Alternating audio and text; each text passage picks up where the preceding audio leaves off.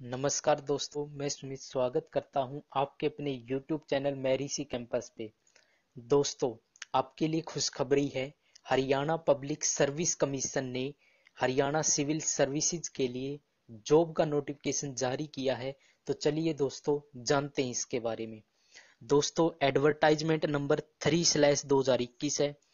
Farm शुरू होने की डेट तीन मार्च है और लास्ट डेट दोस्तों, दो अप्रैल रहेगी। दोस्तों, फार्म आपको ऑनलाइन तरीके से अप्लाई करना है और इस साइट से दोस्तों, आप फॉर्म अप्लाई कर सकते हो। इसका लिंक मैं नीचे डिस्क्रिप्शन बॉक्स में दे दूँगा, जहाँ से आप जाके फॉर्म को अप्लाई कर सकते हो। दोस्तों, यहाँ पे पोस्ट वाइज वैकेंसी बताई गई है। H Haryana civil services executive branch के अंदर 48 वैकेंसी है। डीएसपी की दोस्तों, सात वैकेंसी है। ETO excise and taxation officer की चौदह वैकेंसी है। DFSC district food and supply controller की दोस्तों यहाँ पे पाँच वैकेंसी है। ए क्लास तहसीलदार की चार वैकेंसी है। A R C S assistant registrar cooperative society के अंदर दोस्तों यहाँ पे एक वैकेंसी है। उसके बाद दोस्तों A E T O assistant excise and taxation officer की। दोस्तों, यहाँ पे पाँच वैकेंसी हैं। BDPO block development and panchayat officer की छियालीस वैकेंसी हैं। ट्रैफ़िक मैनेजर की दोस्तों, तीन वैकेंसी हैं।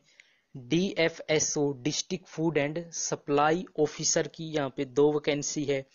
एईओ असिस्टेंट एम्प्लॉयमेंट ऑफिसर की दोस्तों, यहाँ पे 21 वैकेंसी है। तो टोटल दोस्तों, यहाँ पे एक वैकेंसी बताई गई है। दोस्तों, यहाँ पे एग्ज़ाम का टेंटेटिव शेड्यूल बताया गया है। परी एग्ज़ाम मई जून 2021 के अंदर, मेंस एग्ज़ाम आपका अगस्त के अंदर, और दोस्तों, जो आपका पर्सनैलिटी टेस्ट यानी कि इंटरव्यू, बाद में आपको इन्फॉर्म कर दिया जाएगा। दोस्तों तीन स्टेज के अंदर यह एग्ज़ाम होता है। परी मेंस और उसके बाद इंटरव्यू होता है। तो दोस्तों, परी के अंदर आपके टोटल दो पेपर होंगे। एक जनरल स्टडीज़ का और एक होगा सिविल सर्विसेज़ एप्टीट्यूड टेस्ट होएगा। दोस्तों, दोनों ही पेपर 100 नंबर के होंगे, यानी कि आपका जो प्री है, वो टोटल यहाँ पे 200 नंबर का रहेगा। दोस्तों, यहाँ पे ऑब्जेक्टिव टाइप क्वेश्चन आएँगे। दो दो हावर, दोनों एग्ज़ाम की ड्यूरेशन रहेगी। पेपर आपका बाईलैंग्वेज होगा, हिंदी और इंग्लिश के अंदर। वन फोर्थ की दोस्तों, यहाँ पे नेगेटिव मार्किंग रहेगी। दोस्तों, जो आपका पेपर सेकंड है सिविल सर्विसेज़ एप्टीट्यूड टेस्ट ये सिर्फ़ क्वालिफाइंग नेचर का होगा, यानी कि 33 परसेंट से आपको इसको क्वालिफाई करना है। इसके बाद दोस्तों मेंस एग्ज़ाम की बात करें, ये डिस्क्रिप्टिव टाइप इसके अंदर पेपर होंगे। इसके अंदर दोस्तों, आपके चार पेपर होंगे, इंग्लिश, सौ नंबर का, हिंदी सौ नंबर का जनरल स्टडीज़ 200 नंबर, और एक आपका दोस्तों ऑप्शनल सब्जेक्ट होगा जो 200 नंबर का होगा। यानी कि टोटल आपका मेंस दोस्तों 600 नंबर का आपका मेंस होगा। दोस्तों, ये आपके यहाँ पे ऑप्शनल सब्जेक्ट की लिस्ट है, जो कि आप अपना सब्जेक्ट यहाँ से चुन सकते हो।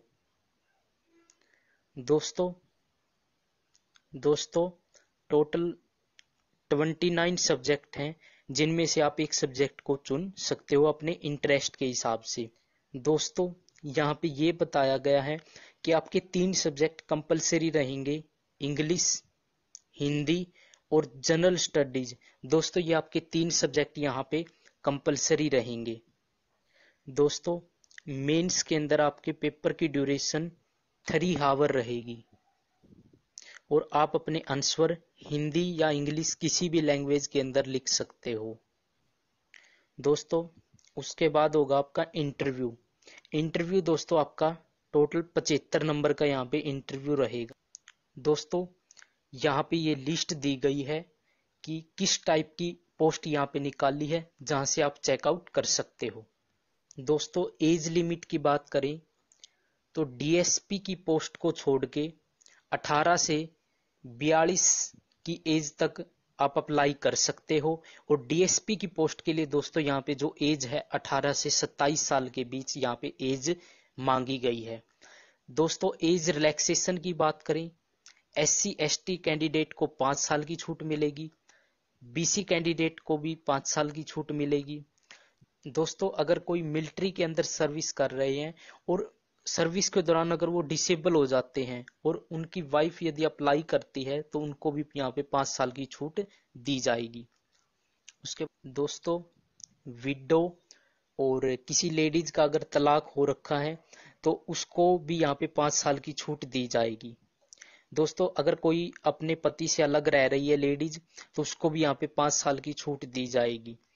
अनमेरिड वोमेन को यहाँ पे पाँच साल की छूट और दोस्तों एक्स सर्विसमैन के लिए भी यहाँ पे विशेष छूट बताई गई है। दोस्तों डिसेबल पर्सन के को यहाँ पे पाँच साल की छूट मिलेगी। अगर disable person S C S T और बीसी कैटेगरी से है तो दोस्तों उसको पाँच साल और एक्स्ट्रा यहाँ पे छूट दी जाएगी। दोस्तों, अगर कोई हरियाणा गवर्नमेंट कि किसी डिपार्टमेंट या बोर्ड के अंदर काम कर रहा है तो दोस्तों उसके लिए भी यहाँ पे विशेष छूट दी गई है।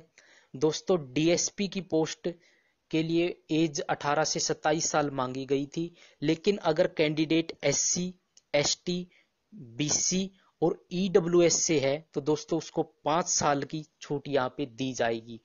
दोस्तों अगर कोई कैंडिडेट हाई कोर्ट या सबोर्डिनेट कोर्ट के अंदर अगर उसने काम कर रखा है कम से कम चार साल के लिए तो उसके लिए भी यहाँ पे विशेष छूट दी गई है। दोस्तों, यहाँ पे डीएसपी की पोस्ट के लिए फ़िज़िकल स्टैंडर्ड बताया गया है।